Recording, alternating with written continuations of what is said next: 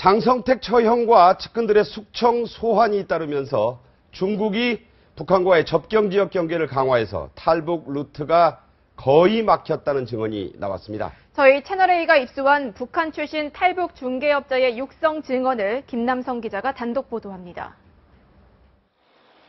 북한 양강도 해산시 일대 압록강 지역 두만강 국경지대 감시가 심해지면서 탈북자들이 가장 선호하는 탈북 루트로 떠오른 곳입니다.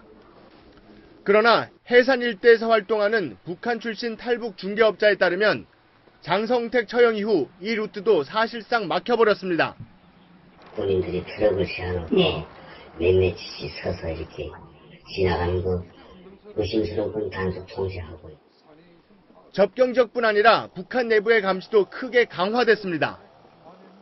국경중비대가 에, 최종 마지막 격서고 그 전에는 뒤 노동적이대 아, 네. 예, 그런 사람들이 이성에 서가지고 예. 지나가는 사람들 믿지 못할 사람들은 네. 단속도 하고 중국과 북한 양쪽 모두 경비가 강화되면서 탈북 비용도 크게 올라갔습니다.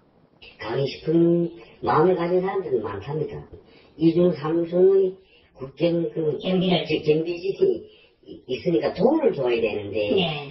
돈이 없으니까 음. 지금 너무 못 오는데 장성택 측근 몇 명이 탈북을 시도하다 실패해 이 일대 경비는 더욱 삼엄해졌다는 증언도 나왔습니다. 신우주 쪽에서 작년 말에 장성택 측근으로 보이는 사람들이 탈북을 하다가 몇 명이 이제 체포가 됐답니다.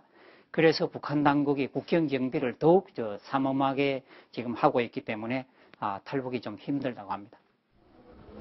장성택 처형 이후 가뜩이나 어려운 탈북의 길은 고난의 행군이 돼버렸습니다. 채널의 뉴스 김남성입니다.